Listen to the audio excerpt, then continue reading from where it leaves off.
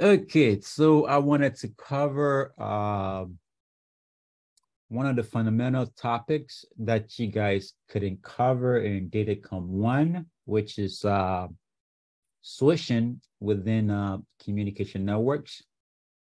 Uh, I think it's part of the fund, fundamental or foundations to data communication. But as usual, since uh, some of you could not cover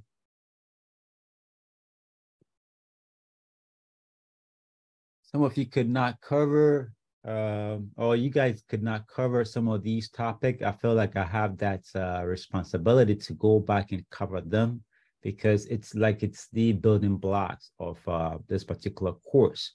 If you don't get that, chances are you're going to be struggling along the way. Uh, even after you get through this particular semester and you still haven't gotten the foundation, I, I guarantee if you go for uh, interviews for a job or whatever, and um, and you had to be asked some of these basic questions that you're supposed to have co- in college. If you can't answer them, uh, chances are they're gonna uh, they're gonna think you're not serious. You don't really know what's the uh maybe the position you are applying if it's related to telecom or IT especially within the uh, telecom industry, uh, like the Vodafones, the MTNs, and what have you. Yeah, if they if you go there and they ask you basic questions on switching and you don't have a clue, man, they're gonna think you're not you don't know jack about the position you're applying for because their business practically re- revolves around some of these basic concepts. So if the employee cannot or the candidate cannot even explain some of these basic uh, uh, building blocks of what our business is all about, uh, then they don't really deserve to be working for us. So they obviously going to deny your, uh, uh, your application, or if there's an interview, you're gonna just they're just gonna let you go. You know. So I I, I think I have that responsibility to, to to make sure this is uh, covered you know, so that at least when you go for interviews and you were to be asked some of these questions, uh, you can be able to answer them much uh, confidently, you know, uh, to indicate that you really, you know, understand what uh, IT and communication or communication networks really all about. Okay, so we're covering switching, okay, within uh, communication networks. So let's get started.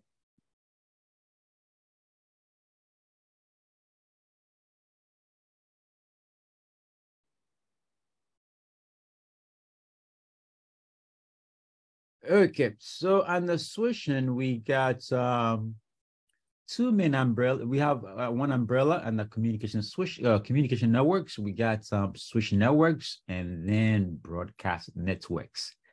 So practically anything that relates to any kind of communication forms under uh kind of it, it kind of basically gets put into an umbrella, you know, under some kind of umbrella. In this case, it happens to be two main major uh, networks called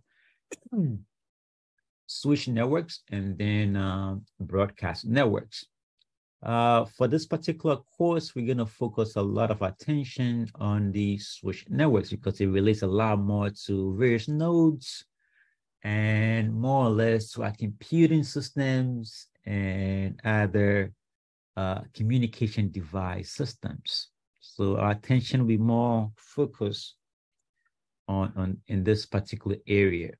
The other area, which happens to be the broadcast network, falls within the televisions and radio stations, or more or less shared common channels. Networks that require shared common channels, like for instance, um, um, a station like a radio station like Joy FM 99.7 happens to be its frequency channel.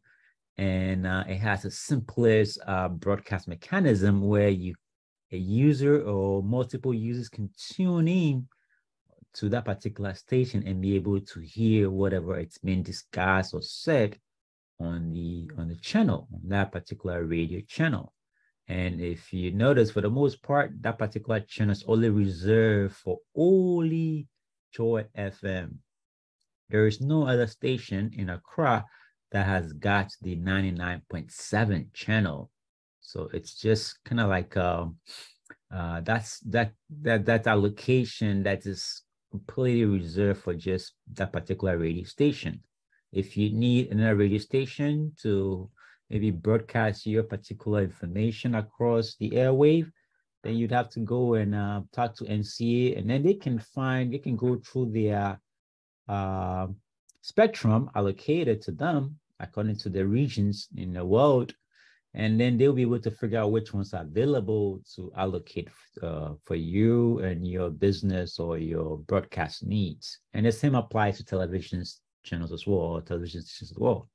They also have a common um, channels, a shared common channel that they use for most of the transmission. And once it's been allocated to a given user, that particular station just owns that channel for as long as they keep um, uh, paying their license dues or their renewal charges are always coming through there. That particular channel belongs to them. And then you get to share it uh, among a lot of users. You know, you and me can tune in anytime and watch TVs or video content or listen to the radios. Okay. So we want to focus a lot more on this side of it here because most of our IT or technologically uh, in client systems revolves around switch networks. Now, when I say switch network or the word switch, it doesn't relate to uh, the device switch, a network device called switch. No, it doesn't relate to that. Switch here relates to how information is um, uh, kind of like a, uh, put together, combined, and then separated or split uh, while it's going through various network nodes or various uh, network links. You know, like for instance, um, you guys, are wherever you find yourself right now, listening to this particular Zoom, you're probably connected to an ISP cell network. If it's using your cell phone, if you're using a cellular uh, uh, transmission for your internet service, chances are you're probably connected to um, a cellular radio that's within your locality. And you have to understand that you're not the only person using a particular cellular radio over there. It, there, there are probably a lot of people around you, you know, your neighbors. If you're on campus, it's probably a lot of your colleagues are also on that particular cell network or cell radio. So there are multiple of you, there are a lot of you, hundreds or or so users uh, that are all basically, basically sharing the same link, the same radio link for their communication needs. And the question is, how is it possible that um, we can all do different stuff on that particular uh, shared medium and not have any conflict and not have any information being um, uh, uh, mis uh, uh, mis mis uh, delivered to a different person, you know. So, and that's what really Switch is all about, making sure that information, even though users are sharing a dedicated or some kind of link, they can be able to do their own stuff without having interferences with other people's stuff. So that's what switching is really all about generally. Now, on the switch networks, we have two divisions. Um, we have the the circuit switching, and then there's packet switching. Uh, circuit revolves around most of the analog transmission. So anything that relates to uh, analog communications or uh, informations that are uh, that requires a burst of you know uh, uh, uh, uh, variable signal or variable um, radio transmission, that's where you'd find circuit a lot. So let's try to go into that and see those these two um, types of switch network we have. Let's try to get into and see how will they manage information flow from you know various users uh, across a, a given medium. So usually within circuit switching, you'd have what you call a dedicated communication path. So meaning that um, the circuits that's required to get circuit switching going uh, requires you to actually have a more or less a physical medium that's attached to a given handset that is used for that particular communication. It has to be connected between two end users or multiple end users that are participating in a given uh, communication uh, transmission, either sharing a voice transmission for the most part. There has to be that um, that link, that physical link. So we say a dedicated communication path, which happens to be a sequence of links within a circuit, have to be established first. And that is needed before any kind of transmission, any kind of information can actually be sent through uh, uh, uh, that, that particular path or that particular uh, medium of transmission. Now, the maximum capacity of a given link that's being used for that particular transmission or communication need, which is termed bandwidth or referencing as the maximum rate of data transfer across a given link, it's usually measured in frequency. So meaning that if you were to be using, say, a fiber optic connection or a twisted pair cable, there has to be an allocated capacity for that particular medium. So if the circuit that's been established for that dedicated path is um, set up, there has to be a capacity assigned to it. And that capacity is what you term as the bandwidth, which relates to the maximum rate of data that can be transferred across that link. And it's usually measured in frequency or hertz. Okay. So those sequences within that circuit must be dedicated and they are fixed for an entire duration of a given connection. So meaning that um, once a circuit is established between two devices for a given communication, it is pretty much fixed for that particular uh, transmission between those two end devices. It is up until the connection gets terminated that uh, another user can be allowed to use that particular link. So for instance, if you have a, a landline at home, a physical, you know, those uh, landline phones for your transmission, and you were to want to make a call to somebody, we have to establish a circuit, a dedicated path between you and the person you're trying to reach. And here's a diagram that shows that. So first of all, that the three phases that are involved in the communication process. The first one being establishment of the circuits, which, which is what we've been talking about so far. And then secondly, there's the transmission of the data or the information that needs to be transmitted. So that tells you that before a circuit, uh, circuit switching can be actually considered um, uh, an established connectivity, you'd have to have that circuit uh, enabled or created for the for any information to go through. Before you make a call or even access any kind of data resources online you'd have to establish that dedicated circuit. And then once it is established then you can actually forward information or transmit whatever information you got. Okay? And then once so within that duration so once the circuit is established uh, nobody else can take or basically uh, access that particular circuit between you and the your uh, destination node or whoever you're trying to communicate with. Nobody can use that particular medium. It's kind of like established for just you. It's until that communication uh, medium has been exhausted or it's actually um, used up in terms of the communication or the data flow that you can actually release that circuit back to somebody else. So usually after the transmission of data, after it's been after the data has been transmitted between the two users or the two nodes, then there's a termination. So the circuits get terminated now to make room for what? Other uh, users to actually access that particular circuit. So here's a diagram of a traditional telephone, uh, trying to make a call to another telephone over here. So you, let's say you having a telephone here. For those of you using um, uh, landlines at home, if you have broadband at home, you would have uh, your phone being connected to either a modem or some kind of uh, device. Uh, and that device actually connects to the uh, ISP's um, uh, termination box outside or distribution box outside, or it could be uh, uh, an exchange box in your locality and it can it could be running off a pole, overhead pole, or underground uh, uh, installation, and it comes to your house. So that is the actual circuit, that physical medium is what has been established between you and the ISP's network.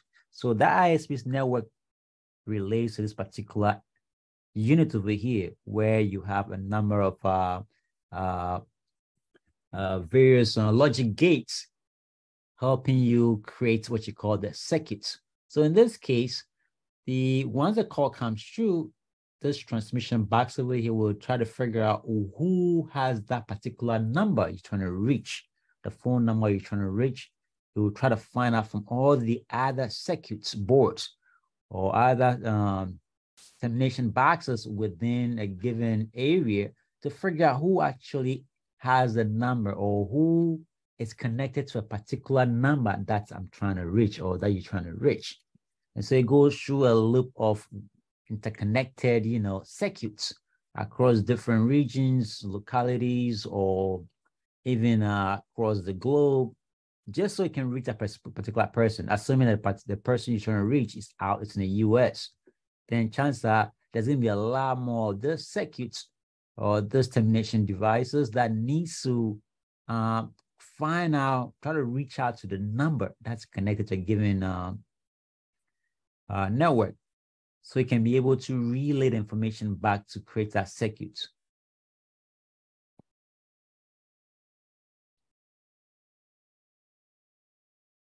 Okay, so in this scenario, you got all of these going on. So the circuit is established between these, these particular termination box that your device is connected to. So this right here, and this one contacts this guy over here to create another circuit because it thinks it has the information that relates to a given user or the particular user you're trying to reach. So it forward it to the actual device that connects to the destination node. And the destination node says, okay, the circuit is not busy. I can establish a circuit for you to uh, connect to this particular user over here. And once that stick is established, then you can be able to actually start having your voice communication. Why does my screen keep moving? Nobody's tampering with my screen, is it? Uh, collaborates, nope. Request recording, sure. Chats, yes. Okay.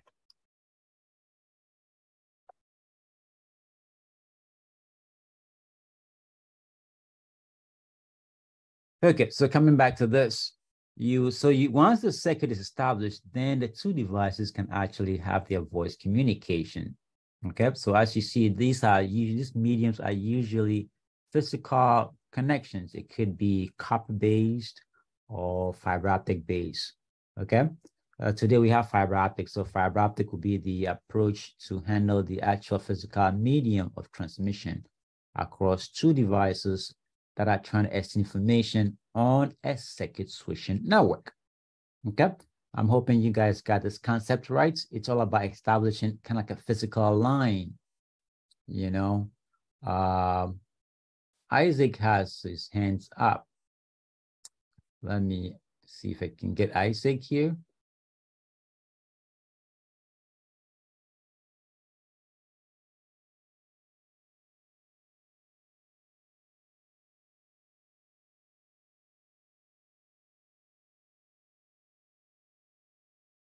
How come the names are not showing up?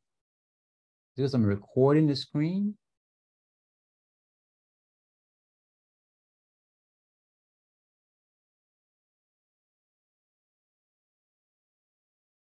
Uh, what's going on here? Let me see. Oh, okay, it's over here. Gotcha.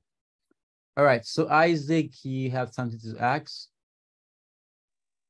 Yeah, sir, good morning. Morning. Um, last week you made it known to us that um, this semester we will be terminating fiber optics. Yes, sir. Um, uh, yes, um, I, I am asking if there's any preparation we need to do before the time. Uh, when we get there, I'll let you guys know. We're not there yet, so uh, when when we do get there, I'll let you know what you guys need to prepare for. Uh, obviously, I can't ask you guys to go and buy the equipment, but if you have the money you want to buy it, say that's up to you. Uh, I do sell some of them, by the way. So what I would do before with that that particular uh, lab demo comes up, I'll tell you the various gadgets that are going to be used for that particular uh, uh, termination session. And then if you if you look at if you look through the list of items or equipment going to be needed for that particular uh, fiber optic termination, and you feel like you can buy one of those gadgets or devices or equipment or tools, uh, I leave it up to you. Like I said, it's not a requirement. You're not required to buy any uh, uh, gadgets or tools for the fiber optic termination. But if you feel like, hey, I want to be, you know, that's that's the field I want to go into. That's where I feel like I want to uh, maybe focus my future career on, or part of the part of my future career on. And I want to invest. I have the money. I want to invest in those tools because uh, it's gonna help me, you know, get some contracts or uh, make me some money. Yes, for sure, man. Go for it. Come and let's talk business. You know, I'll tell you the All prices right. that I got, and then you can, if you're ready for it, um, you bring the money and I you exchange that product. All right, so I'll come and see you. All right, man. Sounds great. So let's do business. Okay. Okay. All right. Great. So now let's come back to uh, what we're talking about. So hopefully you guys understood what I mean by uh, within a circuit switching, you have to have a physical medium. to make the transmission possible. Okay, moving on. And this is kind of like the time diagram of a circuit um, switching uh, implementation where you'd have uh, circuits being established between two host devices uh, and a time lapse, so the delays that are involved. And then the actual, once the circuit is established, you actually have the, the data transmission the information transmission or the data transmission itself. And then right after that, it gets terminated. So your transmission gets terminated for a different user to be able to have access to that particular uh, uh, circuit for their transmission as well. Okay, so this just like a time diagram of that particular uh, of that of the circuit switching implementation. Now, within circuit switching, network resources like bandwidth are usually divided into pieces. As I mentioned earlier on, we, um, since there are, there could be a lot of us using the same medium to uh, access various information on a given uh, transmission, uh, engineers have come up with ways to basically make sure that at least we all get piece of that particular bandwidth or that particular link. I was referencing to the, if you're at home and you're probably on a, a cellular network, you sharing that particular cellular network medium or network resource with a whole other bunch of other people within your community. If you're in campus, chances are you're actually sharing with other colleagues of yours on campus because you're within a given cell over there. So you're all sharing that particular uh, network resource bandwidth over there. Okay. So network resource like bandwidth needs to be divided into pieces and usually allocated to calls that needs to be established, meaning that every single time your phone is powered up and you fell within or you happen to be within a given cell radius or a cell network from an ISP, that cell will basically have um, the equipment to allocate you a, a bandwidth, a piece of its bandwidth that it has. It has a large bandwidth and it will be able to divide them into pieces and be able to allocate some of it to you. And the whole essence of that allocation is so you can be able to also what handle your calls or your transmission needs without any headache or what you call you're connected. Have connection. I have a network. You guys say I have a network. Yes. So you can only get a network based on uh, the divided piece of what bandwidth resources that's allocated by the cell uh, system that you find yourself in to be able to help you make uh, uh, your call needs or other transmission needs within on your cell phones or you know various uh, uh, gadgets that you use for communication. Now, allocated pieces of resource are not shared, by the way, in terms of uh, allocation. So if you allocate a given bandwidth, it's for you. It's for you to use for whatever your needs are. And once you leave that particular uh, uh, uh, cell radius or that particular transmission medium, uh, that resource gets taken away. Okay, so it's only meant for you once once you within that particular radius or cell radius. Okay, so hence with me, it's not shared. Once allocated to you, it's allocated to you for you to use for your transmission needs.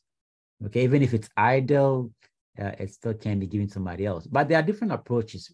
Uh, since we've kind of concluded that, um, or engineers have realized that not everybody, not every single being with us with a communication device is always online 24 7 or always talking 24 7 they found a way to basically divide the bandwidth resources of a given link into different parts or into two main parts. And the first one is the frequency division which is usually not time bound so there's no time reference to uh, the frequency division. And usually um, when you'd have when you have a frequency division uh, for band resource allocation for a given link, uh, you would probably have that um, allocated resource to you for any point in time. You would have it allocated to you basically for your transmission need anytime you want. So there, so basically when we say that you have a, div- a frequency division transmission or switch uh, circuit switching, uh, the frequency that's allocated to you are not reallocated to at any point in time. Uh, a given a typical example would probably be the radio station or the TV station. So usually, like I, as I was mentioned earlier on, with the reference to uh, Joy FM, Joy FM station is 99. Its channel or uh, frequency channel that's been allocated to it, it's 99.7. It's only for Joy FM. Nobody else. Okay, nobody else in that crowd would have that particular frequency channel at any time. And for as long as Joy FM keeps, you know, renewing their license every year or whichever the agreement is, uh, they will maintain that particular allocated frequency channel to them. All the time, they would have that to their words, to their uh, for their business needs or for their communication needs. Now, on the other hand, though, the other aspect, the other division, which is the time division, this is actually usually based on time. So the frequency allocated can be reallocated after a given time is lapsed. So for instance, uh, uh, your uh, for it depends on kind of it depends on the kind of time, uh, application we're looking at if the application, like for instance, most of our GSM transmissions are purely based on time division um, uh, switching technology, uh, meaning that um, we are the, the, the, the ISPs will allocate you a given frequency for a given period of time with the mindset that you're not going to be using that frequency forever or 24 7. There's a high probability that at some point in time, your phone will be will be dormant, will be idle, not accessing any resources, especially when you're in class. Yes, for that hour, hour and a half, or two hours that you're going to be in class, uh, why would the ISP keep that particular bandwidth with you indefinitely for that particular time when other people need it for their use? So what happens is systems are basically kind of like um, uh, sensing for idle phones or idle devices that are not using their allocated bandwidth that's been given to them or frequency band has been allocated to them. Once they realize that it's been idle for a certain amount of time, they will just basically elapse the time that they've been allocated to that particular frequency. They will elapse it. And once they elapse it, they give it to somebody else.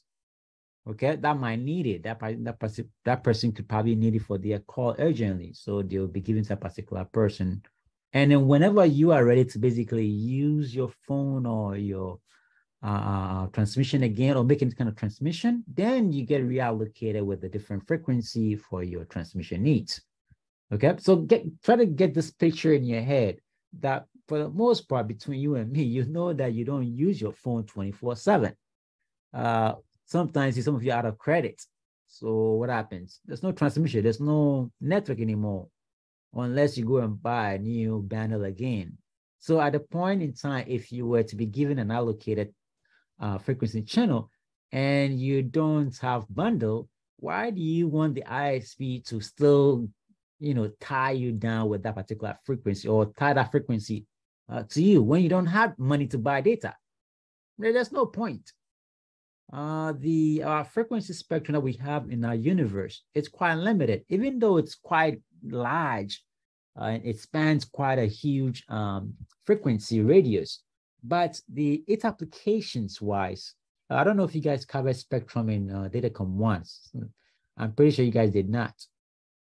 You know, I'm pretty sure you guys uh, did not do that. So, hey, I'm already recording the, the video for you guys, so don't try to request for it. Or, yeah, don't try to request for it. I'll just up upload onto the YouTube channel for you guys whenever you need it. Um, somebody wants to say something. Sir, please pardon me. What my network is really bad here, and I can't see the screen clearly. Uh, so exactly what we're going through over here. You're probably going through this because you're uh, the, the, the bandwidth shared with other users are pretty much overcrowded or it's quite limited. I mean, it means that your link for transmission is quite uh, limited. So you're not getting the required bandwidth to handle the required bandwidth frequency to handle transmission. These are some of the challenges that we need to address. And this is exactly what I'm basically trying to cover with this uh, switching uh, communication networks. Okay, so we look at how some of these things comes out, why sometimes you have bad connectivities. It's all based on what? This concept that we're talking about over here. Okay, and we're going to go into a lot more deeper interface so you understand the complexity of how to manage uh, a telecom infrastructure to allow for communication networks and make communication uh, seamless for everybody. It's not that easy. It's very cost intensive, but with the right implementation and the right financing, uh, it can be done. I don't know where you find where yourself where you find yourself eh, or wherever you find yourself, wherever you are right now. I have no idea where you are. Chances are maybe you're not close to a good cell tower, or uh, you probably have a number of other users, you know, using the same uh, bandwidth frequency within that particular link that you're sharing with other users. So you're gonna have some of these issues comes up. I, me, for instance, on the other hand, I'm at home right now. I'm using my fiber optic link and I have a huge bandwidth on it, about a full uh, 50 meg on it running. And since I'm at home today, it's a working day, most people have gone. Most of the people in my estate have all gone to work. So chances I have that huge banner allocated to me for just my transmission needs because there's not going to be much competition going on or contention on my link currently because most of the guys in the estate have probably gone home, uh, gone to work right now. So I have a huge uh, bandwidth to my um, uh, allocated to basically to my assets for me to use for whatever I need to do. Okay. Are we good? So, anyways, let's come back to what we're talking about. Um, so those are the two main um, divisions within the uh, bandwidth resources on a given link. So we have the frequency divisions and the time divisions. Now, bandwidth frequencies can also be split into channels, which I've been mentioning all along, because we're trying to find a way to make it a lot more, uh, be able to cover a lot more users uh, within a given uh, transmission link that we have. So either you have um, a frequency allowance or not, you can get your bandwidth frequency allocated to you and usually split into various channels to address your transmission needs. Now, sometimes some of these frequency channels uh, that are split from the allocated bandwidth um, needs to either have a guard band guard bands are just an allowance that are created to basically make sure that uh, uh, we don't have um, uh, what you might call it, uh, uh, signal interferences within two, uh, between two people that have been allocated a frequency channel. So another example I'll give here, or with, with this particular scenario over here, is that um, if you take Joy FM's channel, which is the 99.7, what is the next channel that comes after it? It's probably 99.10 or, or 100, right? So they've kind of put the allowance. So that allowance that's in between two uh, channels, radio channels or TV channels or transmission frequency channels is what we term as the bar, the guard bands. Okay, it, it helps prevent crosstalk. The technical word is crosstalk, or what you call interference between two different uh, uh, bandwidth frequencies